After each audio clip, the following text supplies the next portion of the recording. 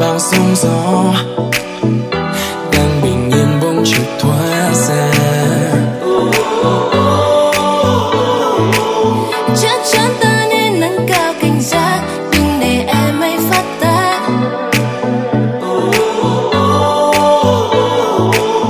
Chắc chắn ta nên quyết tâm từ xa để dịch bệnh không bùng cháy lên.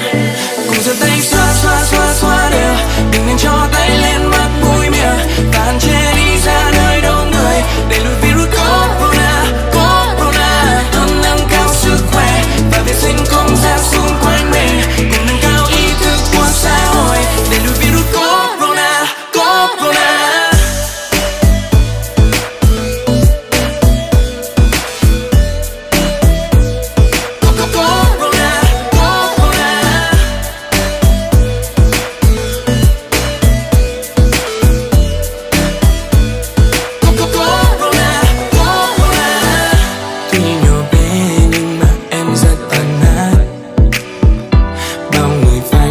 情。